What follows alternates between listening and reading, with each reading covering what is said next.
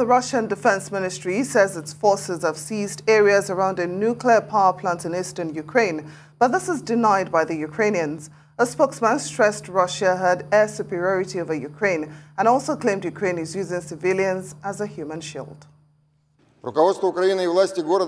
The leadership of Ukraine and the authorities of the city, having announced a curfew, are persuading the residents of the capital to stay in their homes.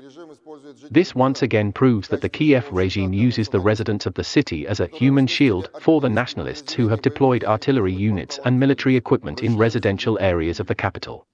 We appeal to the people of Kiev, all civilians in the city can freely leave the capital of Ukraine along the Kiev-Vasilkiv, Kiev-Vasilkov in Russian, ED, highway.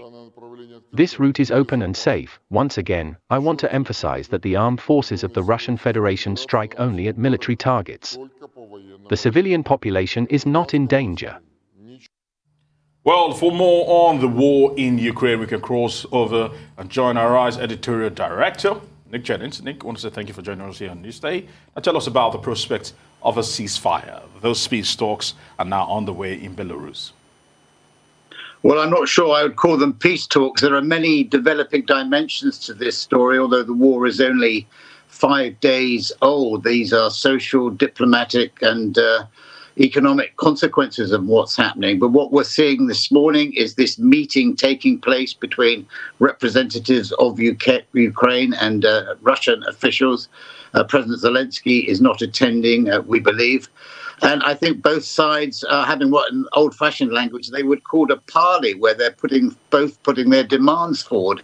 We've heard that the Ukrainians are demanding that the Russians withdraw immediately, that there's a ceasefire, and that they withdraw all their troops. I think it's very unlikely that Russia is going to agree to that.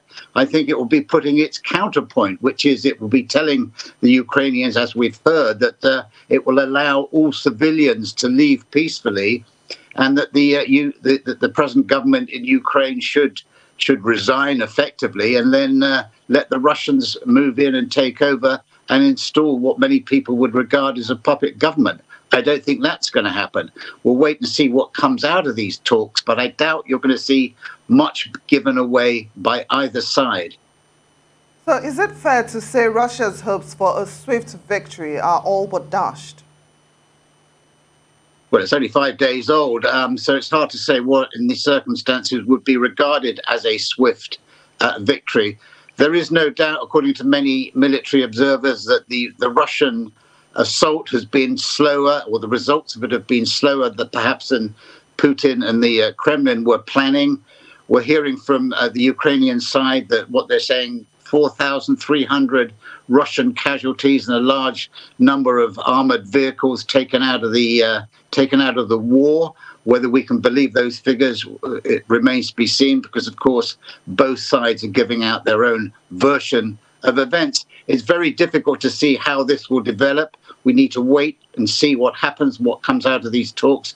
Meanwhile, there's a huge humanitarian crisis uh, on its way uh, because of the number of refugees that are reported to be fleeing from Ukraine. The European Union has now um, predicted that this could affect over 7 million people across Europe if this war continues.